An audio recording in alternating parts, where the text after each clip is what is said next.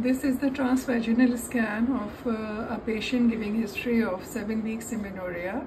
Here you can see the right ovary, this, and uh, this is the uterus, transverse section of uterus on transvaginal scan.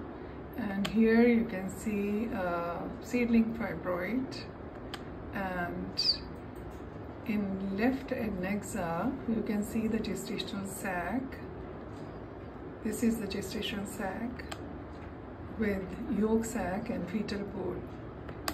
Cardiac flicker is also visualized. So diagnosis is ectopic pregnancy of six weeks.